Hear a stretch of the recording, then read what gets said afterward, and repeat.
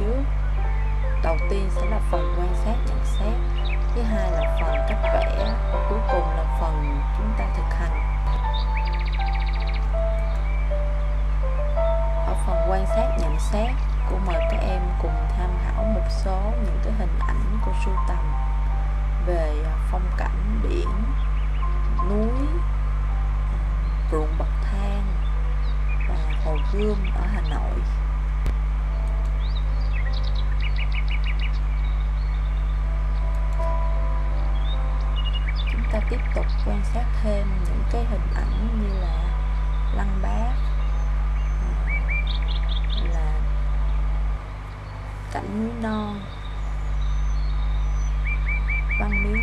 giám và chùa một cột.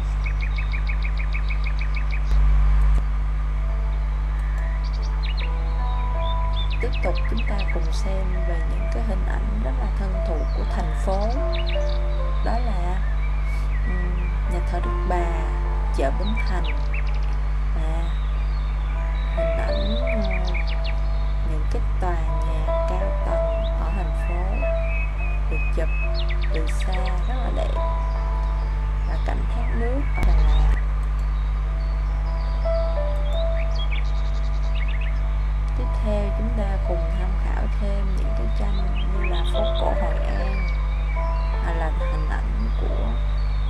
cái đồi thông ở Đà Lạt cùng với lại hồ Xuân Hương.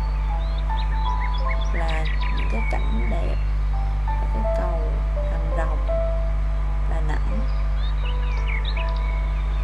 Tóm lại thì với đề tài tranh phong cảnh, chúng ta có thể vẽ cảnh hoặc cũng có thể vẽ thêm người vào trong cảnh để cho cái tranh của mình thêm sinh động. Và tùy theo ý tưởng của mỗi bạn chúng ta có thể sắp xếp hình ảnh người trong tranh.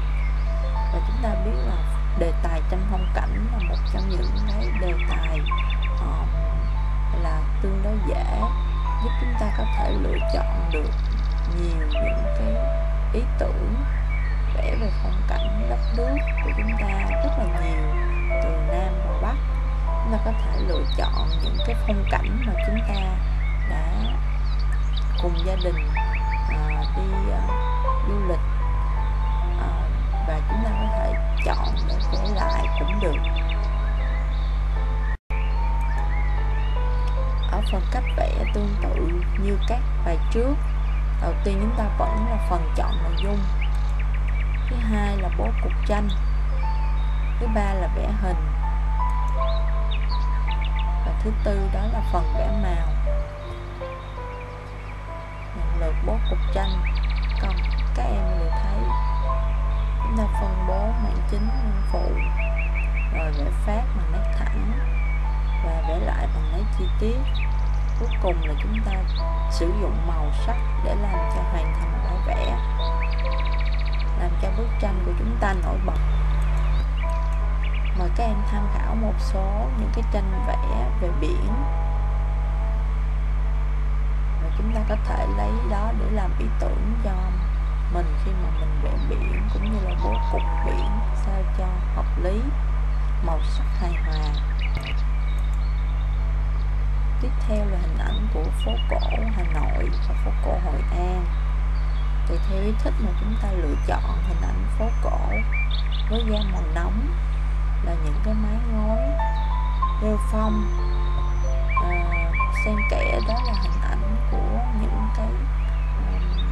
cổ thụ hoặc là những cái cột điện làm cho cái tranh của chúng ta nó sinh động thêm vào đó là hình ảnh của người mua bán hoặc là chạy xe vân vân. Hoặc chúng ta có thể quan sát uh, thêm hình ảnh của uh, những cái chiếc cầu hoặc là chùa thiên mụ hoặc là chùa một cột, hoặc là hồ gươm. Để chúng ta lựa chọn vẽ tranh sao cho ờ, bố cục hài hòa, màu sắc nổi bật và đường nét gọi là tương đối đẹp. Ở phần thực hành, yêu cầu các em chúng ta sẽ lựa chọn một trong những cái phong cảnh mà chúng ta yêu thích nhất và chúng ta bạn dao có giấy A4 thì chúng ta có thể vẽ lên trên giấy tập cũng được. Ở phần hướng dẫn về nhà, yêu cầu các em chúng ta hoàn thành bài ghi chuẩn bị trước cho cô bài vẽ theo mẫu các cốc và quả và dụng cụ chuẩn bị, vẫn là tập ghi, sách giáo khoa, giấy vẽ A4 nếu có.